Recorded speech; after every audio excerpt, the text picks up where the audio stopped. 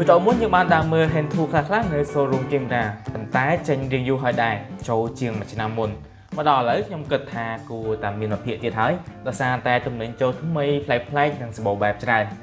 ឧបករណ៍ជាងទាំងនេះប្រហែលជាបងបងជាងធ្លាប់បានស្គាល់និងកំពុងប្រើប្រាស់ផងដែរអញ្ចឹងបន្ទាប់ខ្ញុំសូមបង្ហាញតែសាច់វីដេអូប៉ុណ្ណោះបើសិនបានអ្នកទាំងអស់គ្នាចាប់អារម្មណ៍ប្រភេទមួយណាអាច screenshot ឆែកតម្លៃក្នុង comment ខាងក្រោមវីដេអូនេះបានអរគុណតតាមដានវីដេអូបន្តទាំងអស់គ្នា